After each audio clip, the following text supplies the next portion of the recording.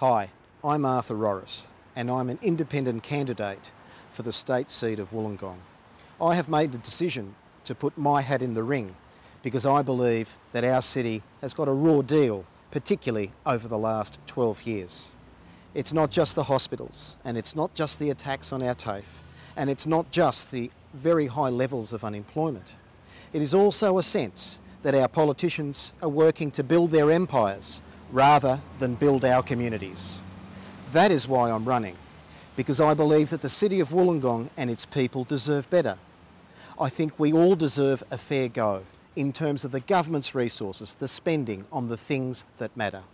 We know that governments can't fix every problem, but unless they prioritise the people and the needs of the people in our city, we won't be getting improvements and we will be left behind.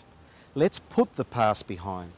Let's celebrate our wins and let's face our challenges with our best team, not the tired old mediocre set that we've been used to over recent years. We need a change and we need it now.